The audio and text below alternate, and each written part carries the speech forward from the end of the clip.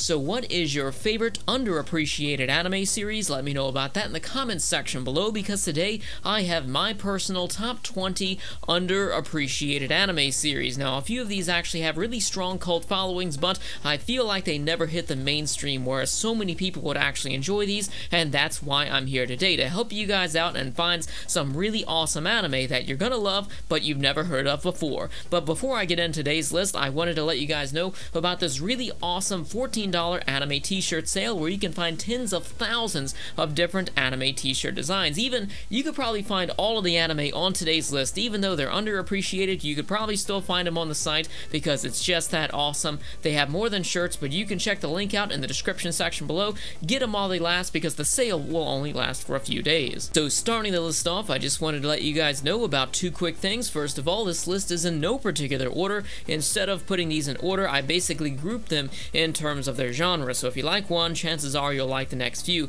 in the list as well. Secondly, I have reviews for many of these anime, so you can find links to them in the description section below. So getting the list kicked off with number 20, we have Planetes, which is in our Slice of Life section of the video. So Slice of Life is not something that we would normally associate with outer space uh, anime series, but considering the fact that this is set in outer space, it's easily the most down-to-earth anime that you could find, or one of them anyways, because these characters are just so detailed, and you really go and see all of the different uh, aspects of their life through romance and the drama that they have, and through the character development and everything. And I think this is a show that really does grip you and get you uh, emotionally connected to some of these characters, and it has a very powerful ending. It is a complete experience, and it is a must watch. So the next two slice of life anime that I have are perfect if you'd prefer your anime to be not so out of this world. Starting off, we have Kids on the Slope, which is a musical anime. It's a music slice of life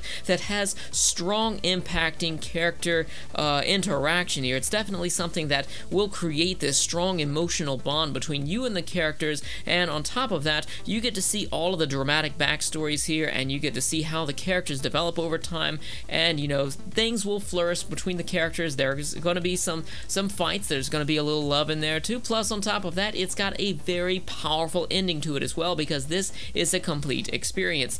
Now, the next anime that I wanted to bring to your attention is Genshiken, which I think is probably going to be something that everybody who watches this video will enjoy, even if you're not that big of a fan of Slice of Life, which, by the way, I feel like every anime that I've listed so far would be great for anybody, but Genshiken especially due to the fact that I think many people would find this relatable considering the fact that all of the characters or and the story as a whole are basically set within an anime club at a college where characters sit around, they talk about anime, they build Gundam model kits, they play video games, they go to conventions, they do all sorts of anime related things, and I think that this is an anime that I really envy the people who they have so many other friends around that they watch anime, and I think this is a situation that a lot of people can appreciate when they watch the show.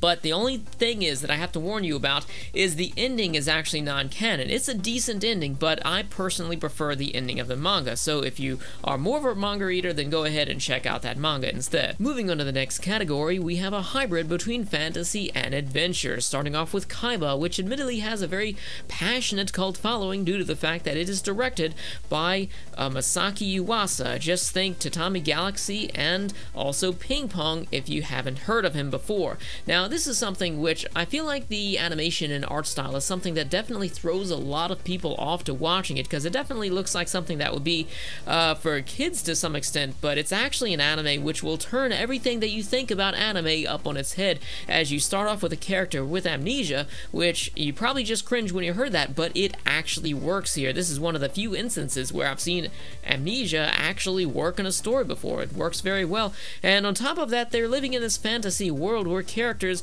can trade bodies, and there's this big uh, deal with corruption about how the rich are basically subjugating all of the poor, where basically the rich are becoming immortal and controlling everyone due to the fact that they can always afford new bodies and just swap memories around each and every time they just want to upgrade their body. So needless to say, Kaiba is an anime which is incredibly bizarre, but what I found shocking about this is how well they articulated the human condition, as within the first half of the series, we're going through and seeing uh, just a single episode based around the life of some of the side characters in the story, and I think it was totally just this beautiful experience that you need to watch. Next, we have Kino's Journey, which, like Kaiba, also has a very passionate cult following. And by the way, if you loved Kaiba, then you'll love Kino's Journey. If you love Kino's Journey, you'll love Kaiba. I think these shows really do go hand in hand. But this is a show which doesn't focus so much on any sort of character development or characterization as it does uh, uses our protagonist as basically the perspective that we view her world from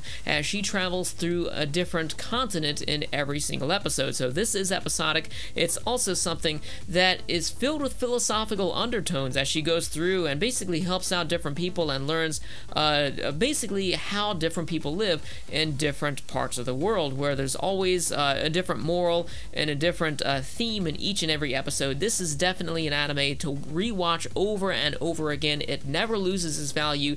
Definitely check out Kino's Journey. Next, we have Last Exile, which beautifully incorporates this feeling of adventure that you get with these great anime series that are totally out of this world, where we have our protagonists who are teenagers that are living in this destitute village by themselves, and basically how they survive is that they uh, fly this little ship around completing small missions for people just in order to make ends meet, and then we see that they get caught up within this war and they learn about mysteries that basically uncover how the mysterious fantasy world of their theirs works. It's totally something for any fantasy adventure junkie. It is a must watch. Now, lastly, for our fantasy adventure little grouping we have here, and you can also mix in action with this one because it is Moribito. If you want your fill of action, fantasy, and adventure, this is definitely the place to go because it follows this strong-willed warrior woman and her journeys across the country where she becomes obligated to basically take care of this uh, prince where his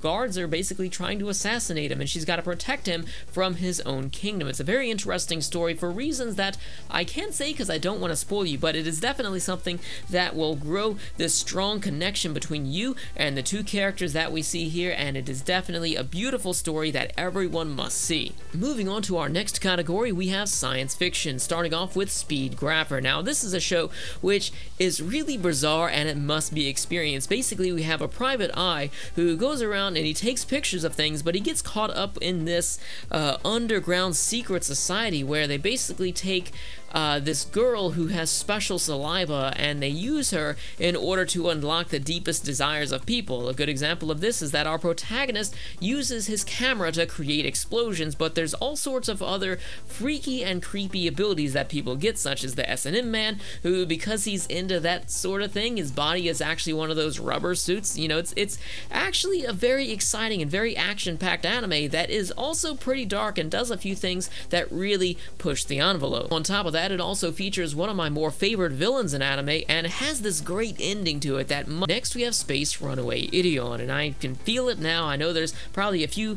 hardcore mecha fans out there right now just shaking your head because this is actually a very popular anime series, but in the West, nobody knows about it, nobody watches it, and people certainly aren't talking about it. But Space Runaway Ideon, if you're not familiar with this, actually inspired Neon Genesis Evangelion and was created by the creator of Mobile Suit Gundam. This came out directly after the original series did, and it's one of those shows that really love to play with your head and make you ask questions about it, but there is a bit of a caveat to me adding it to this list. If you are accustomed to 70s anime, I know this came out in the 80s, but it looks like something from the 70s.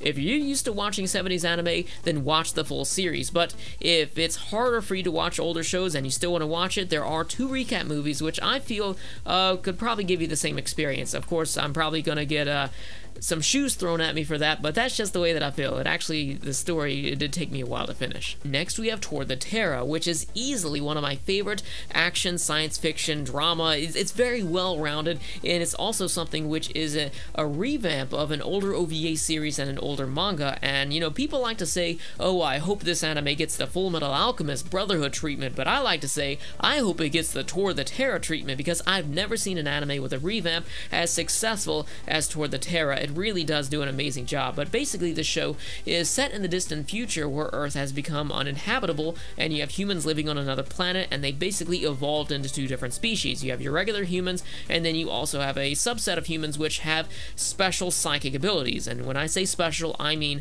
they can live for a very long period of time, they can fly around in outer space without a helmet, and they can use psychic attacks which can destroy entire spaceships. Like if you like the action of mecha, but maybe you're not too big big of a fan of robots and uh, machines doing everything, then this is a must watch. It's basically just people that are flying around in space, blowing everything up. It is totally action packed, but it also does an amazing job in terms of drama and also balancing out the strengths and weaknesses between these two different factions who are at war with each other. And lastly, for our science fiction grouping, we have Gundam War in the Pocket. If you're looking to get into Gundam and you only want to spend three hours to do it, then this is definitely the place to go. I would also recommend Iron Blooded Orphans too if you're trying to get into Gundam, but that is 50 episodes long. But Gundam War in the Pocket is something that I feel is definitely something which will attract people who have never tried mecha anime or people who have not actually liked mecha anime in the past because it's not so much about the machines as it is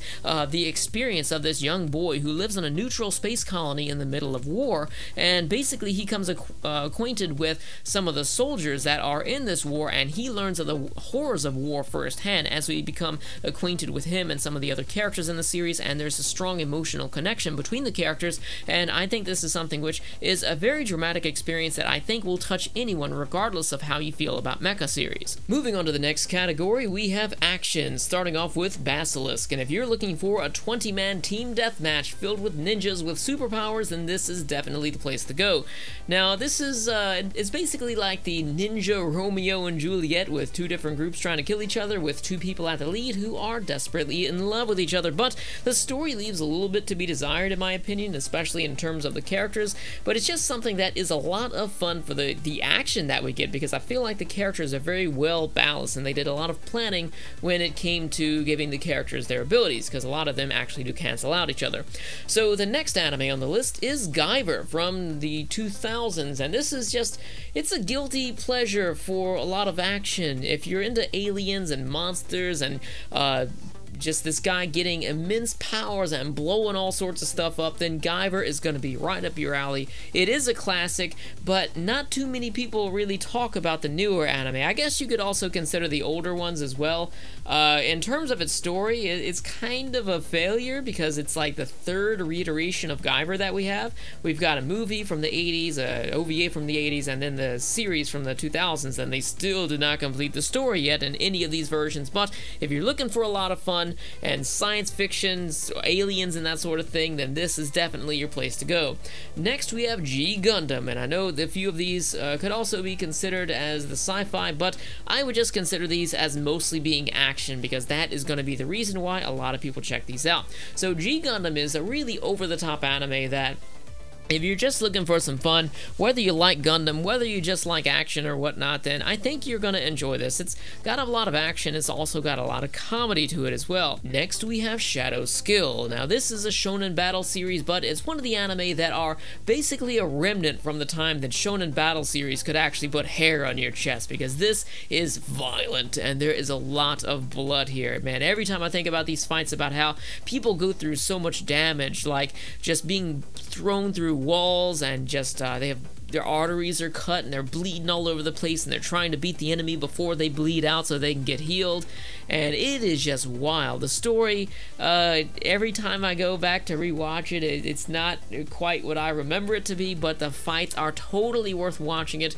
The story starts off a little bit silly and gets really serious uh, in the second half of it but it is definitely if you're looking for action you gotta check out Shadow Skill. And lastly for the action category we have Peacemaker which is a bit of a historical drama type of action anime, and this is something that it it's basically historical, but it follows two uh, fictional characters that are basically trying to join the Shinsengumi so that one of them can get strong enough in order to kill the person who murdered uh, his parents right in front of him. It's a story of revenge. It's a story of a young boy who's trying to become a demon and only in order to uh, avenge his parents. You know, it's it's definitely not your typical uh, shonen series like it may seem. You know, the character does look really cute, but there's actually some pretty good action here. Moving on to the final category is basically a hodgepodge of a few different shows that I couldn't really fit into any of the previous categories only because I picked the shows before I decided to separate them into categories, so don't blame me here, but the first one is Area 88. Now, this is an anime that's from the 80s, and it is a touching story about a guy who is an ace fighter pilot, but he basically gets uh, obligated to go into war as a mercenary because somebody basically drafts him. And while he's the mercenary, he's got to get a certain amount of kills and a certain amount of money ranked up so that he can buy his own freedom back. So we're seeing his life and how basically everything that he left behind begrudgingly, because you know he didn't really have much of a choice. It's either that or they're going to execute him. And then we also see how his current lifestyle affects him. And there's a lot of character development on his behalf. And then we also see that there's a lot of drama here as well. It's actually very exciting. And if you're a big fan of Top Gun, then you probably enjoy this too with its awesome uh, dogfights. Next, we have Rose of Versailles. And this is actually a pretty popular anime, but the only reason I'm adding it here is because I noticed that a lot of people are overlooking this one simply because of its age, but this is definitely something that breaks the mold for 70s anime, and I can tell you this firsthand as somebody who watches 70s anime. Rose of Versailles is doing a lot of things that even current anime don't even try to attempt. First of all, it's got a strong warrior-like female protagonist who is the bodyguard to the uh, Queen of France right before the events of the French, Re the French Revolution, which is basically one of the bloodiest times in human history. So this is definitely a series that I wouldn't recommend a marathon because it is so dense and it's actually got a lot of drama here. You never know who you can trust in the series and it's filled with these despicable people and on top of that you have the character uh, who is basically the bodyguard and she can't really have any say in what the, the queen does so she's basically watching the queen just use up all of the tax money for herself without really realizing that it's starving the entire kingdom. Meanwhile, she's just got to sit around and watch everybody starve to death. It, it really is a tragic story, and it's definitely one that's worth checking out. Next, we have Onihei, and this is actually from 2017, and I know I'm to get some people shaking their heads like, why did you add a 2017 anime to the list? Because I feel like this is a hidden gem from as soon as it came out, because it wasn't really appreciated, and I feel like a lot of people basically turn their noses at it because uh, they basically judge the series because they're not a big fan of episodic anime. And if you are a fan of episodic anime, this, this is to be right up your alley. It's basically following a samurai who is leading this arson division and uh, thievery division in his town, and he's trying to basically stop crime. But we come across a lot of criminals. Some of them are beyond redemption, and some of them uh, we learn that they have very tragic uh, backstories that lead them to the life of crime that they lead, and they're actually good people. So it's really something that you never know what to expect in each episode, but it's always something that within the 30 minutes time frame of each episode, you're always going to get connected to a new character that you didn't know about in the previous episode. And lastly, for the hodgepodge grouping, and of course the list itself, we've got an anime which is a bit of a hodgepodge itself. First of all, it's this monster hunting anime where you have two different uh, factions. You've basically got the samurai, and then you've got these monsters that are feasting on humans, and then to add an extra layer of complexity to it, you've got this Romeo and Juliet type thing where a man's in love with a girl who is a monster who eats humans, so they're not only are they in love and dealing with each other's family, like they're just trying to uh, to have their romance go through, even though their families hate each other, but they also have the fact that uh, one character is is in his blood to kill her type and is in her blood to eat him basically. It's a show that it's touching it's exciting with the action. The art style is actually very unique. It's very strange. It's definitely something that takes a bit of getting used to. And it's got this really strange ending to it where it's like they, they love to mix it up and just turn the anime on its head where if it's a very dramatic moment sometimes they're going to do something that is actually kind of funny. You know it, it's very hard to describe. I do have a review.